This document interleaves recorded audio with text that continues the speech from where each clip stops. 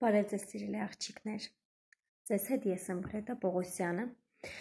Եվ այսօր այսօր որոշել եմ խոսել ձեզ հետ մեր աշխատանքի հարմարավետության գոտու, մեր աշխատանքի բնույթի վերաբերյալ աղջիկներ ջան։ Գիտեք, հաճախ աղջիկները չգնահատելով, թե ուր են հայտնվել, ինչ հնարավորություններ կարող են ունենալ, պարզապես թույլ են տալիս մի այնպիսի իրավիճակ, որտեղ նաստավնիկը իրենց պիտի համոզի փոխել իրենց կյանքը, փոխել իրենց ֆինանսական կարգավիճակը, չնայած նրան, որ հենց իրենց է հարկավոր փոխել իրենց կյանքը։ Աղջիկներ ջան,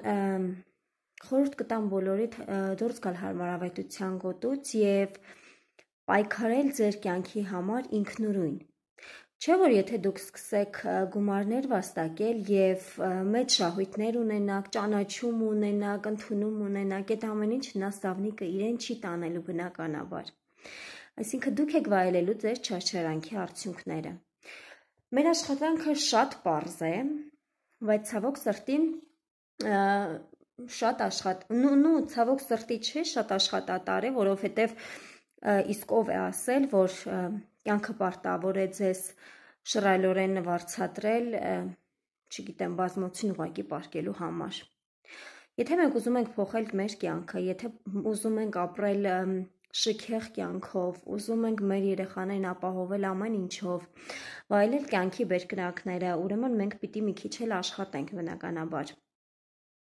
Եվ թույլ տալ, որ նաստավնիկը անընդհատ ձեզ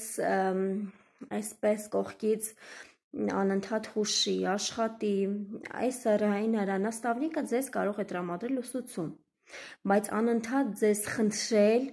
որպիսի դուք փոխեք ձեր կյանքը, սխալ եմ համարում աղջիկներ ջան։ Քանի որ հիմա 8 ժամ է, չեմ ուզի շատ երկարել,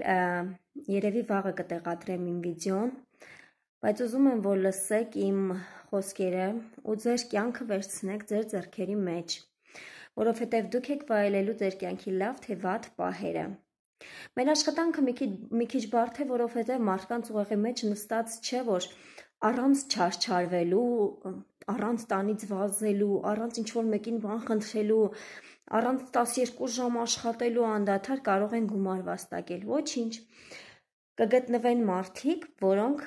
կգնահատեն ձեր տված հնարավորությունը, չէ՞ որ յուրաքանչյուր նաստավնիկ հravirելով նոր մարդ տալիս է նրան հնարավորություն փոխելու իր կյանքը։ Էնպես որ ցանկանում եմ աղջիկներ ջան ձեզ գալ գիտակցման, ինչքան ուզում է խոսենք, ելի հիմքը գիտակցումն է։ Ուղղակի մոտ հասունացել էր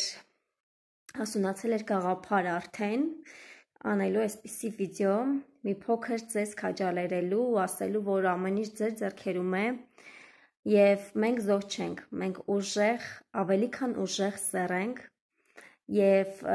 կանանց թույլ սեր ասել են տղամարդիկ ավելի իրենց ուժեղ զգալու համար աղջիկներ ջան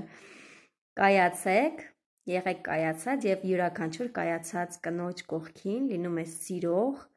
եւ հոգատար ամուսին, որովհետեւ ինչքան դուք ծաղկում եք կայանում եք, ձեր կողքի տղամարդը պարտանալու է ձեզանից, ձեզանով եւ ձեր երեխաներն են նույնպես աղջիկներ ջան։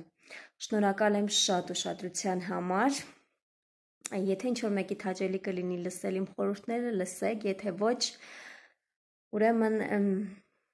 խորհուրդ կտամ դուրս եկեք հանրահայտության գոտուց ու աշխատեք ձեր կյանքի բարելավման համար աղջիկներ ջան։